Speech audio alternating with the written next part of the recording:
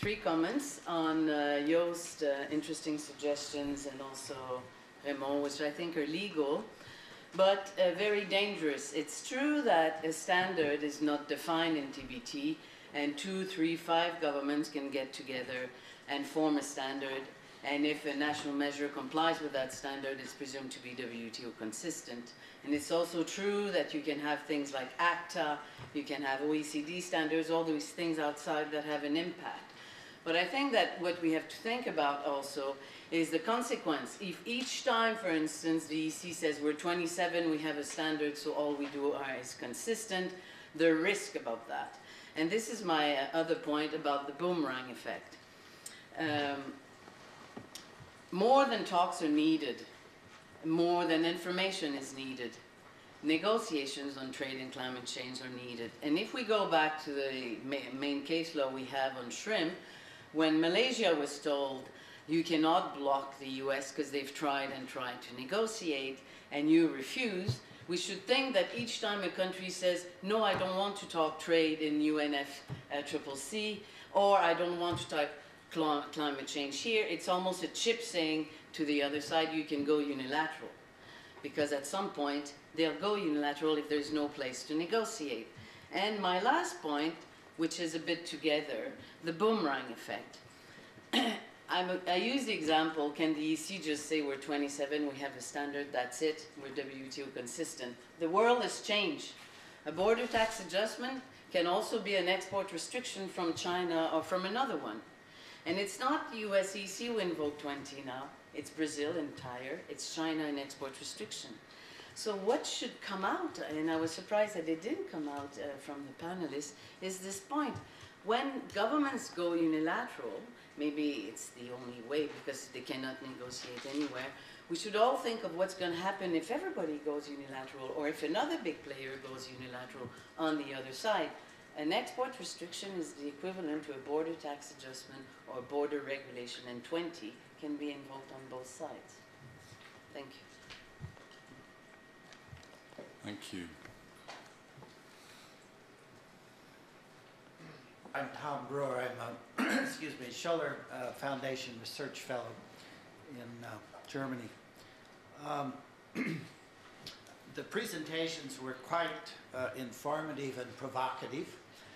Uh, let me suggest that there's a whole range of possibilities that didn't get touched on. Almost inevitably, there is, of course, a special uh, concern here in this city, in this institution, with multilateral solutions.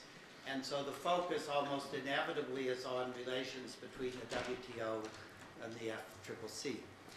Uh, it seems to me that the world is likely to end up with, and I will have a question momentarily, uh, what the world is likely to end up with is a highly pluralistic, not terribly environmentally effective, not terribly uh, economically efficient, but politically feasible array of agreements with very little coherence, lots of contradictions, very little coordination.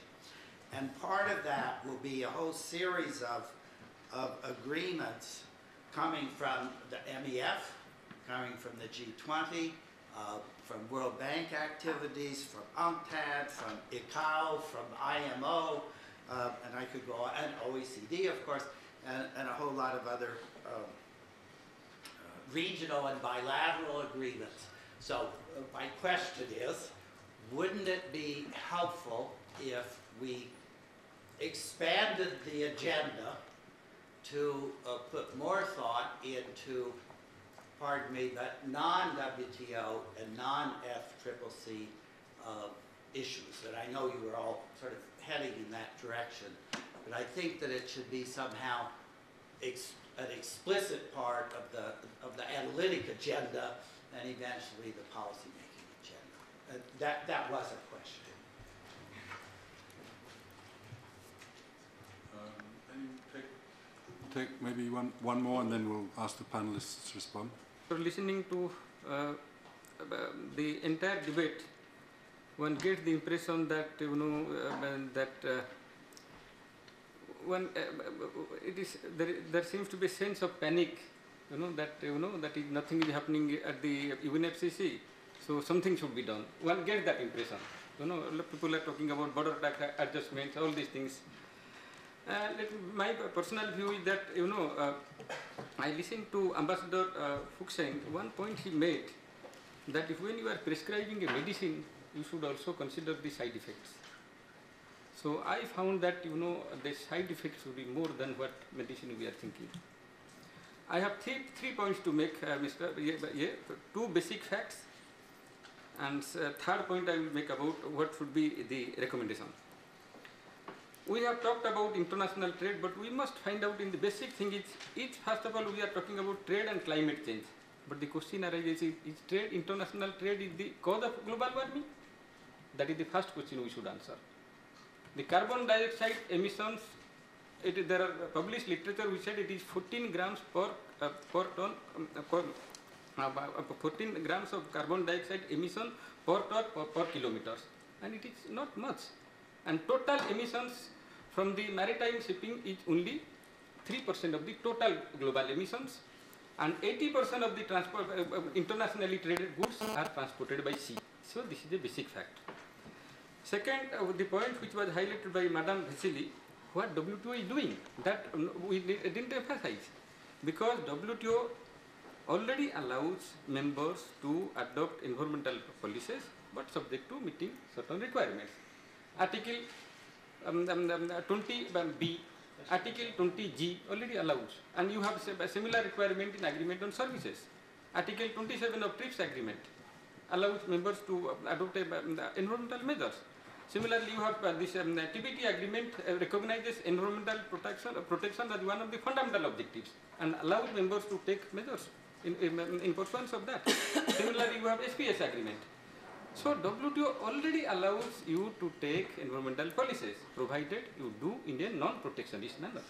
So that is the and WTO and um, uh, Madam Vesile has highlighted what are the work WTO is already doing. I don't have to elaborate. Now the question is that when we are talking about border measures, what is the ground of taking border measures? Because you want there should be a level playing field between the domestic player and the uh, foreign player and the domestic player. That is the argument. But here there is a serious flawed logic here. Because when you talk about that, you are basically undermining the principle of CBDR. And if you have to respect CBDR, then you cannot expect all trading partners to adopt emission control measures of equal intensity. I will give you certain facts. I will give you certain facts because climate change, as you know, it is a global problem. So naturally it requires a global solution. And all of us we know climate is changing not because of your current emissions, but because of accumulated emissions which are already in the atmosphere. And it, um, and if you cut atmosphere and you can there are published record you can find out you can find out which country has pumped how much carbon dioxide into the atmosphere. That is a fact. But that is why UNFCCC envisages deep and significant cuts in emissions of industrialized countries. But you will always tell me, look, this is all past history. Because the growth in emissions comes from developing countries. Accepted. That is fair. This is. Because from a stock per- perspective, developed countries, from gro- growth perspective, developing countries. That is a fact. That is why it is it, the principle has been agreed that we have to the cost of reducing emissions have to be borne by in accordance with common but differentiated responsibilities and respective capabilities and on the basis of equity. This was a principle which was agreed in uh, 1992, reiterated in Copenhagen Accord and again in Cancun agreements. Now, people have here, commentators have expressed uh, pessimism, uh, pessimism. I do not know why, why we are uh, uh, pessimistic about this thing. Because we know that everybody had predicted failure at Copenhagen, but we had, people say that it is a broken Hagen, but you had Copenhagen Accord and it lays a foundation for future action. Now, more than 100 countries have subscribed, uh, giving uh, their commitment under this accord. Now, um, um, um, um, accounting for 90% of the emissions. But it is a difficult problem if you cannot do it now in the uh, Durban, but the answer lies in having a global treaty. global treaty because when the countries are we are working towards a global treaty, then if you are talking about UTMs, then it is a dis- distraction because because it, it is a distraction. So I would suggest I think none of us believes that, that WTO is the only forum in which trade is discussed and that UNFCCC is the only place where you can expect any progress on climate change. I, I think that uh, the, what was implied in Ricardo's example of the, of, the, of the energy trade agreement is that we have to start getting a lot more inventive. And um, I think there's a principle, and there's a principle that, that uh, in my institute we discussed quite a bit after, after Copenhagen, which is if you are determined to make progress uh, on climate change, uh, to get action taken that will limit the buildup of carbon in the atmosphere, surely the best thing to do is to look right across the horizon at where interesting initiatives are taking place that could be replicated or scaled up, where political agreement might be close and a little effort there might move things forward. In other words, to, to look at the entire landscape and look at where an investment is likely to yield the greatest result. And I think we need to learn to do that. I, I know that um, a number of people in, in, in, the US, where I was born, um, gave up on the government long ago and said, the US can make pro progress on climate change, but it'll be made at the level of states or municipalities or corporations. That we need to federate those, we need to bring them together, we need to build on those. And I think that's a, a very important lesson. We tend to say that well, since WTO is the lead organization on trade, if there's no progress there, there's no progress. And I don't think that uh, anybody anybody really believes that anymore. And I think that this this this search for unconventional solutions should be one that does, that is not too bounded by by the limits of, of tradition, by the way things have been done in the past. I think implicit in some of the things Raymond had in his slides is, is that uh, some of these things that we thought of as taboo, like like uh, accepted green criteria for for discrimination, uh, it's not obvious that it's the right solution, but certainly we ought to be talking about it, because if we feel we need to get across that bridge to a green economy or green forms of growth or whatever you want to call it, we need to figure out what is most likely to take us across that bridge. And if it involves calling into question uh, some of the things that, that are that are that are uh, that were considered rigid uh, in the past, well, let's call them into question again. The, the, world requires it. It's not that we don't have any tools at present. We do, and a lot of them have been laid out on this table. But what we've seen is that by applying those tools, we can make progress, but the progress is at much too slow a pace. And if we project that forward, we're going to lose the battle. So uh, we can we can either see whether other things will can work, and use the full range of, of, of, of uh, tools out there, or forums out there, or create new ones, such as ICTSD is doing. Or we can sit back and say, gee, it's pretty frustrating. We don't make much progress here. We don't make much progress over there. Negotiators, politicians, they should no longer blame or they should stop blaming their inaction to formal WTO rules of consensus, MFN, what have you. And I'm not saying we should forget about state consent. So, Patrick, I'm not saying we should uh, drop the consensus or consent idea. Oh, the opposite, actually, I, I think we should reinvigorate the idea that states can get together and in a bilateral or in a plurilateral agree on something and no longer feel hostage to that WTO consensus idea. So we, we can't really give up the good because there's theoretically something better out there. Now, what, what Gabrielle was referring to is, is the, the crux then. No? If we have, say, a bilateral or plurilateral, what does that mean for WTO members who didn't sign up to this? Will you have this kind of a, a boomerang? Now, there, I, if, if I'm reading the, the Stuna report correctly, it would not be it would not be possible for the EU 27 to get together and enact a standard. And I fully agree that shouldn't be possible. That's what I really was trying to refer to, this idea of a thick consensus. You don't need explicit state consent, what you need is a thick consensus. And, and it's defined as a general agreement characterized by the absence of sustained opposition to substantial issues by any important part of the concerned interest. So it's much more subtle than a, a basic um, state consent requirement, which in my view opens the door to to evaluate. The other gentleman was referring to, you know, we'll have a regime complex. I, I think all of these efforts out there will be looked at, should be looked at, but weighed differently.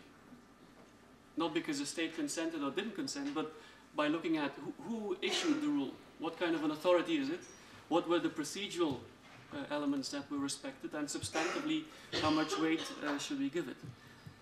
And then to the Indian, uh, the delegate from India, exactly right. The, the point is,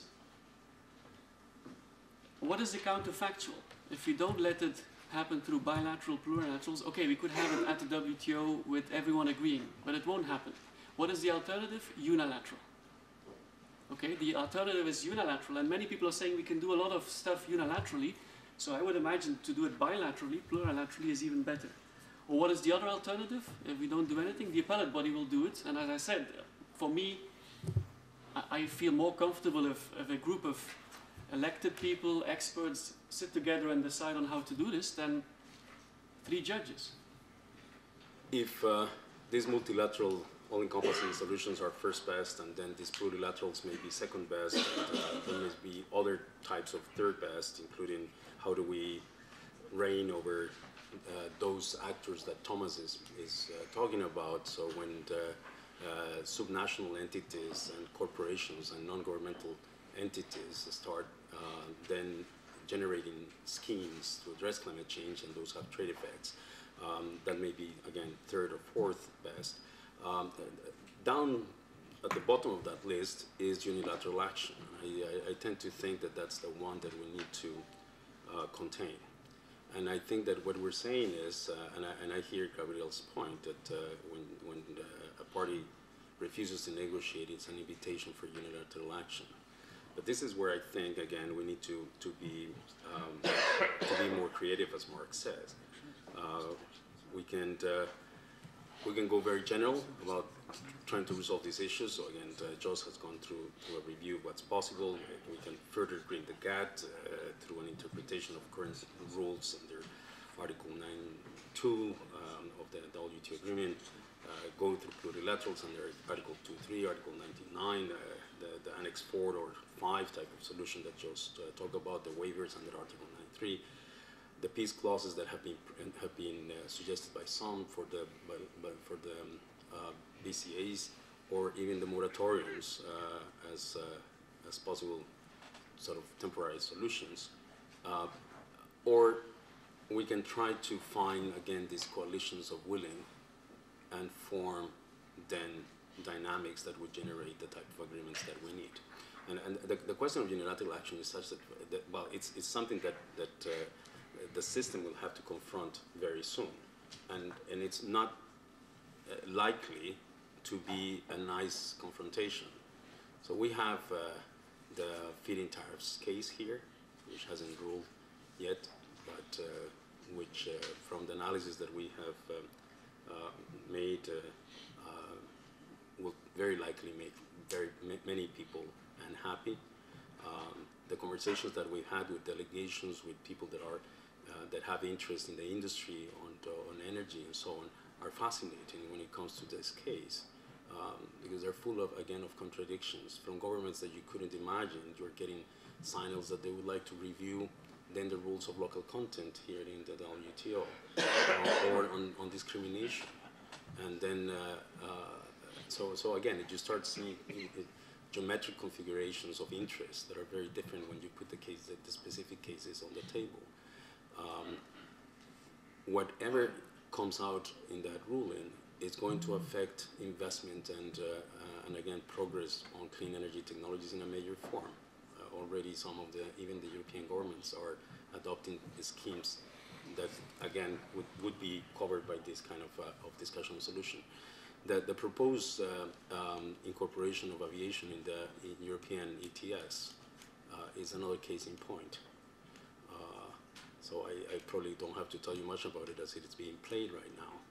But uh, the legality with WTO, notwithstanding that the European Court of Justice may have ruled that, it, that in other international law the measures are consistent, it's, um, it's very questionable. And, uh, and then the question that, that any action from this House against that kind of measure is going to necessarily bring forward is whether countries in the WTO favor or not action on climate. And that is the big, difficult question that will need to be uh, responded.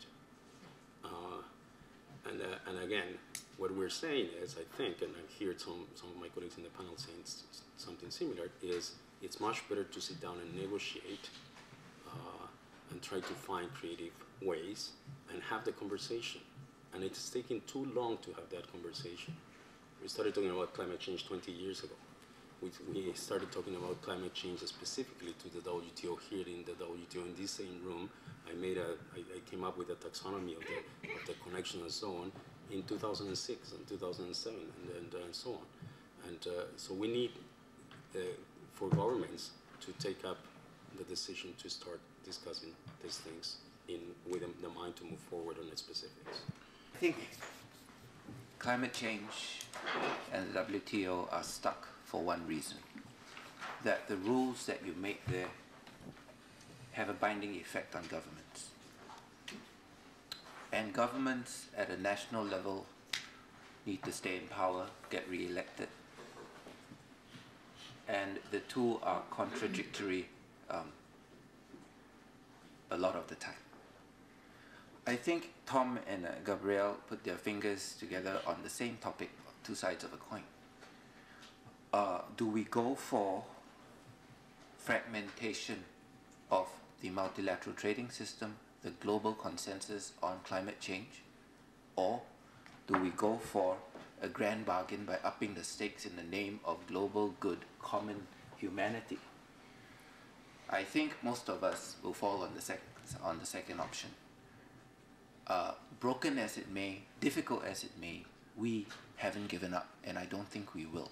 For the simple reason because the first option takes us down a very, very slippery slope, which Ricardo was talking about, and the ultimate unilateral action multiplied by 193, that's the, that's the bigger universe, we are only 153, is something we cannot fathom. So there's a value there, there's also something missing in this conversation which is i think all of us sit here are very who are sitting here are very fortunate to be able to partake in this conversation from a point of view of people who people societies organizations who have the capacity to engage. There are member states there are parties to the convention who do not yet even at the governmental level have the capacity to engage the way we are sitting here talking today. Now, they are the price takers. Um, the other extreme of the, the, the spectrum for unilateralism is that the biggest boys will set the price. Now, I can't stand for that, and we're not badly off. There is something to be said for a rules based system, which is what we at the end of the day are trying to promote. And that is something we cannot afford to abandon because there may be rules that have to be a little bit more flexible, there may be rules that have to factor in reality, but there must be rules.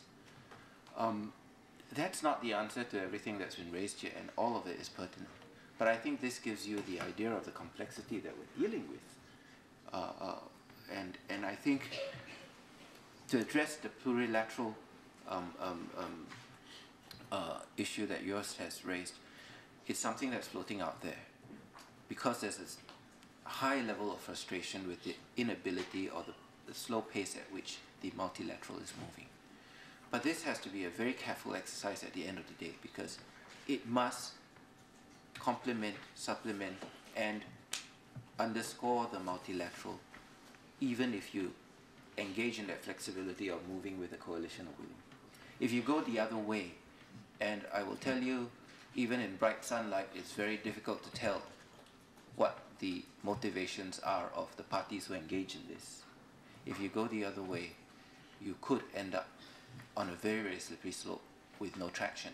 So these are the are the realities that I think at the end of the day bring governments back to this slow as it is um, um, favor of favoring of the multilateral process because the rules matter. Thank you. The discussion today proved uh, my view that we are all in the realm of speculation, views, and opinions. There are sometimes good analysis that we also had today from Peter Wooders and Scott Barrett, Rubunis, and others, but still, these are all, uh, uh, we do not have the facts. Our members here and w, the UNFCCC delegates do not have the facts in front of them because they don't seem to want the facts. This is what uh, the impression one gets when one hears to, uh, to the negotiators. Uh, here in WTO, we had this, it was already mentioned, uh, uh, uh, monitoring of protectionist measures pursuant to the financial crisis, but we don't have an evaluation of monitoring of protectionist measures pursuant to the climate crisis. I mean, this, we could put these crises on, on uh, similar levels and see what are the trade effects. The second point I want to make, I simply do not understand this um, plurilateral proposal, standards proposal, and peace clause. Fine, if they are a solution, fine. But who is going to do them? If we cannot get the, our parties here, and when you keep on saying 153 and 153, the negotiations are done by, by some parties at the first level. Uh, when we cannot get those parties, when in the climate change area, if we can't get uh, developed countries, emerging economies, uh, putting their heads together and deciding what to do, who is going to be party to that plurilateral agreement if the, the main economies are not parties to that agreement, uh, to, if they can't do it in WTO in a multilateral context, how are they going to go into another room and say, let's have a standards, let's have a plurilateral agreement? Second thing, I don't understand your standard really. Is this a process standard? Is this a product standard? I mean, you, you alluded to the tuna, um, Atlantic tuna standard, but that, that's a specific standard. It's not in this whole climate change area where you can have a, a trade standard. Uh, it's, it's, there are some issues that are ambiguous and they need uh, uh, further discussion, I believe. Uh, a fact that all of, all of us have been following, that is the increasing signing of FTAs and RTAs and BITs, where environment is increasingly part of it. So our government seemed to be able to do this on a bilateral or in a regional uh, level, but not here. And they're not able to do something at UNFCCC for all the reasons that I think we all have followed. But I, I just observe that we have reached an impasse. So it's a bit surrealistic to talk about the fine points of how we could maybe chisel around stuff that we already have. I would agree with Mark, we have to step out, in that sense my, my uh, title, you have to step out of the box of the, and that's not, not, not to say that what we have is wrong, but we need something in addition, above, not what, not to think that we just go on and on and on and spend more years to come. I'm by age, I'm, I won't have to probably suffer the consequences fully of, of climate change. I think it's irresponsible not to think out of the box. And uh, Gabrielle's suggestion or observation, I agree, there's the boomerang effect. Um, and just to add the uh, plurilateral part, nobody has mentioned one plurilateral agreement within this house which is doing quite well. It's public procurement. It's government-related activities. It's doing so well that even I hear China and India is in, uh, interested in joining. So why not, why disregard something which exists, which is doing very well, a plurilateral agreement, why don't we do one that is pertaining to climate change and trade? I don't see why this should not be possible.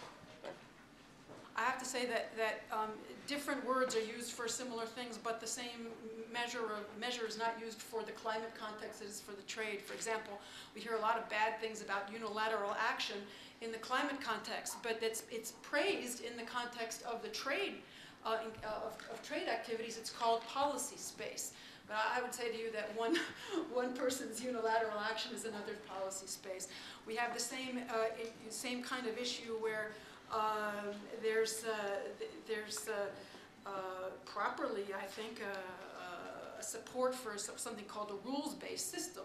Uh, Now, that's, that, that would be a good idea in the climate area, but most of the discussion today about the rules-based system in the WTO is actually trying to undermine some of the aspects of the rules-based system.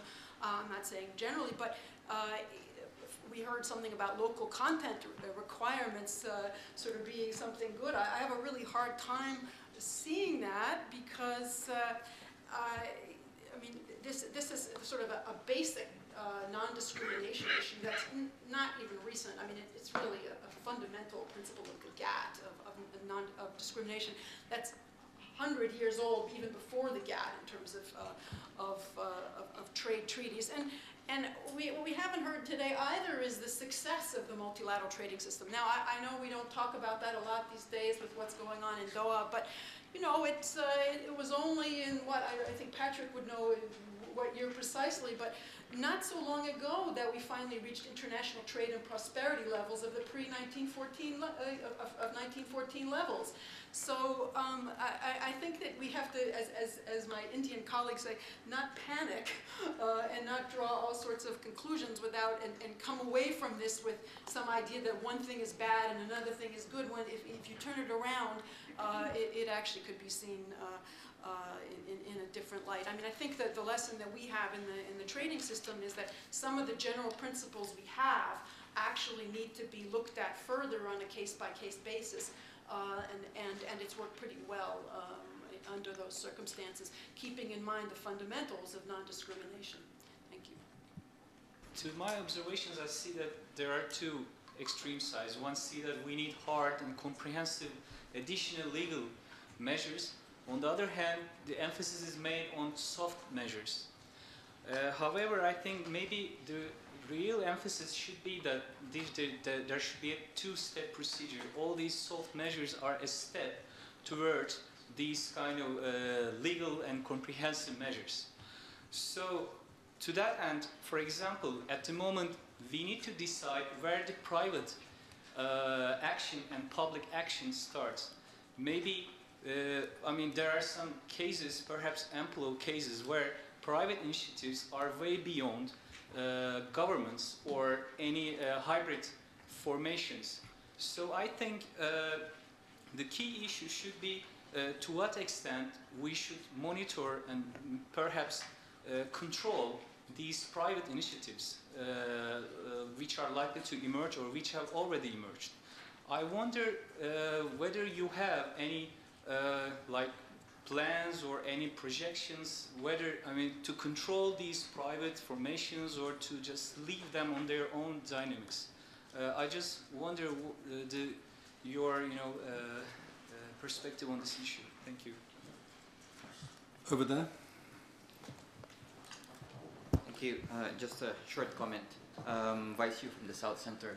Um, I, I think the, the the point that Gabrielle raised about you know negotiations or not negotiating and then coming up with unilateral measures is is well taken. And I think in the climate context, what we have there is a situation where a group of developing countries composed of Africa, the African group, Brazil, China, India, Malaysia, Philippines, Thailand, um, I think Uruguay as well, and uh, Lebanon have actually gotten together and said we prefer the multilateral route, and that is why we want to see uh, you know the, these countries. That is why they're saying essentially in their text, as I understood it, uh, that. Um, that uh, multilateral route is preferred and that the venue for discussing this trade and climate linkage as far as unilateral trade measures are concerned is in the climate convention because that is where you would be able to see a holistic and integrated treatment of the issue in relation to uh, to what our Indian colleague was mentioning, um,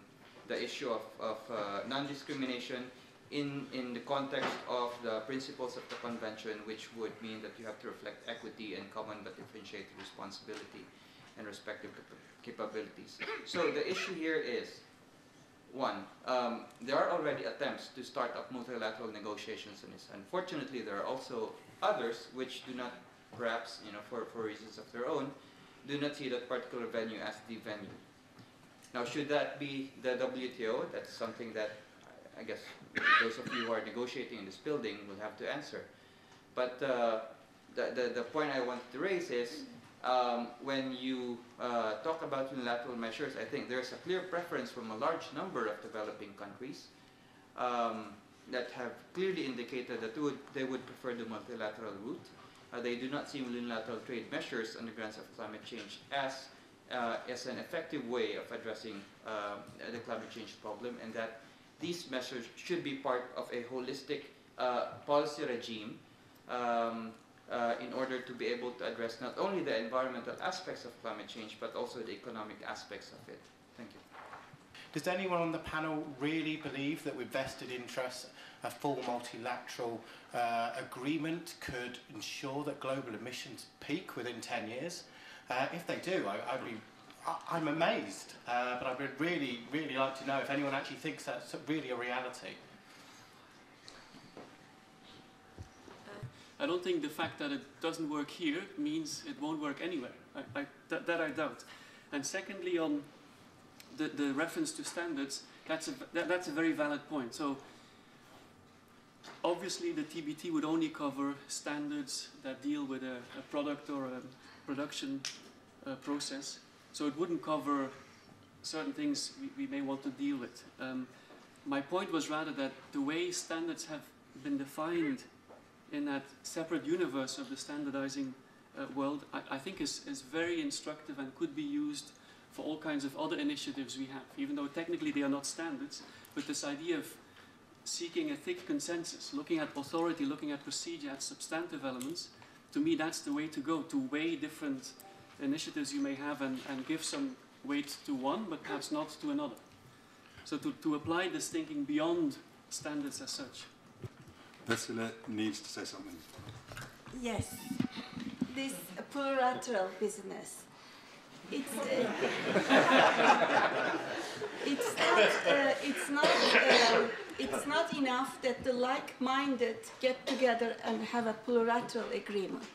You have to have the United States in there, you have to have China in there. It's not enough that Singapore and European Union goes next door, go next door and have a plurilateral agreement. Because climate change is a global problem. You have to get the main emitters in there. That's what I want to say. Anyone else?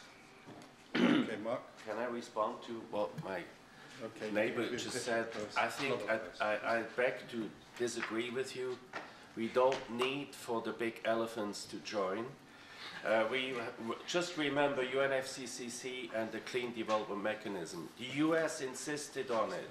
It's not even a signature to the UNFCCC. So why not start with countries who are committed, who want to make a difference, and then I think the big ones will come and join. Thanks, Patrick. Just to, to respond to the point that I think Vice made, I think it's a very valid point that you say this group of developing countries have. The proposal is about embracing the multilateral, and I fully agree with that. But I think what we have, um, what this is still uh, an ongoing discussion. What we don't find helpful is the positing of a north-south uh, divide in that proposal. Because if we've just heard this, that, that's not an issue, and I don't think that's issue come up. Uh, that, that, that's something defining of what we've heard today. This affects everybody, and I think that's where the solution has to be global. But they, I think it's where the ideology, the ideology doesn't help. I think if you want to be meaningful, we've got to start looking at in meaningful ways, and that, that's that's the only point I have. Thank you. Mark. That, that, what, that clock's a little fast, so you each have one minute. You each have one That's minute. fine. First, I'd like to assure the audience that there's no panic. We're imbued by an almost Buddhist sense of calm. Uh, secondly, that we all recognize the, the great successes that our international system has, has delivered over, over the past years. And I say that genuinely. I, you know, I, I don't think that we're dealing with failed systems. I think we're dealing with, with, with huge problems. Now, uh, generally, a, a- governance system is defined by, by its ability to take measures at the scale, at a scale commensurate with the problems that it's trying to address, and that those measures keep pace with the pace of the problem's development. And by both of those measures, I think it's clear that our governance systems in the international level uh, are not up to the task.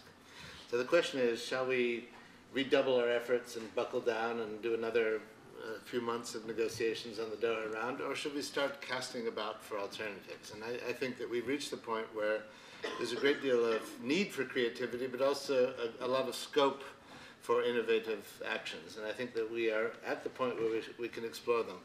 I think that if we explore them and that they are successful, they will not undermine uh, the WTO or the UNFCCC. I think they will enrich it.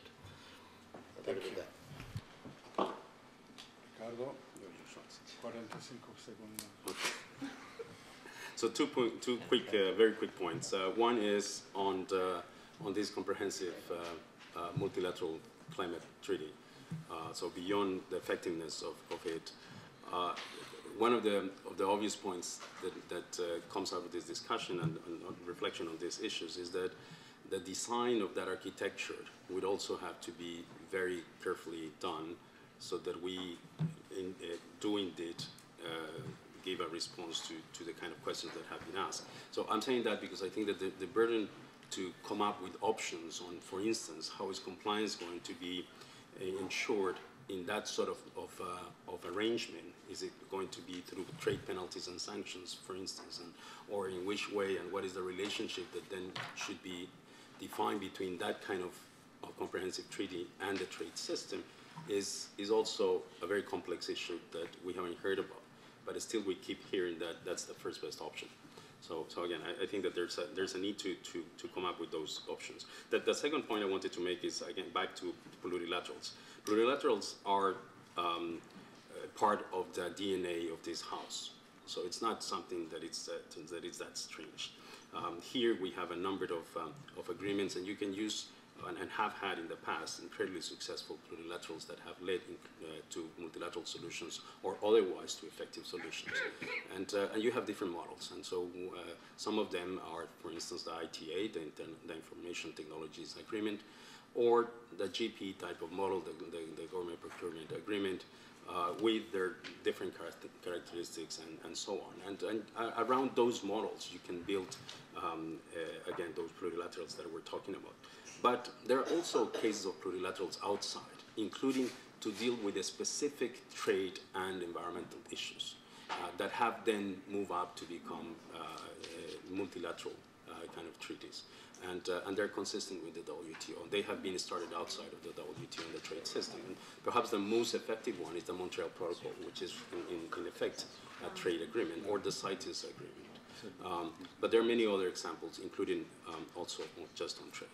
So, so I think, uh, again, the mandates are there, both in the existing committees, in the Doha round, and if not, in the evolutionary nature that, and, the, and the mandate to guide this evolution that is given to the ministerial conference. So there's a space to do these things here.